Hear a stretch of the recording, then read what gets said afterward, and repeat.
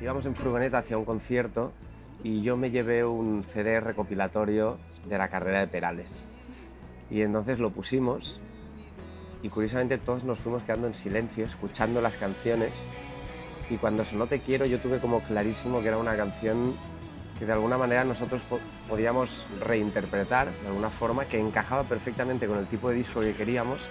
Me gustó que, que gente de una generación tan nueva, tan joven, eh, de repente descubra el valor de determinada canción escrita hace muchos años por mí. ¿no? Luego un día coincidimos con Love of Lesbian y con Sidonie en un concierto de otro artista y les contamos, para el próximo disco vamos a grabar una versión de Perales.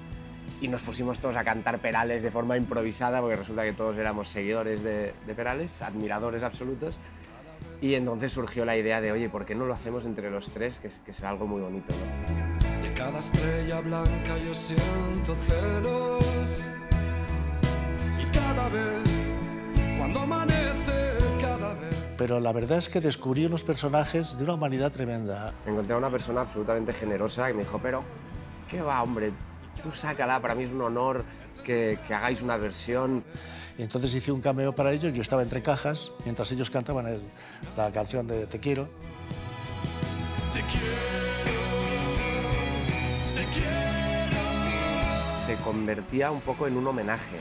No solo un homenaje a José Luis Perales, que también, por supuesto, pero también a la música de una época, a aquella música que nosotros cuando éramos pequeños íbamos en el coche con nuestros padres, sonaba y, y de alguna manera formaba parte también de nosotros.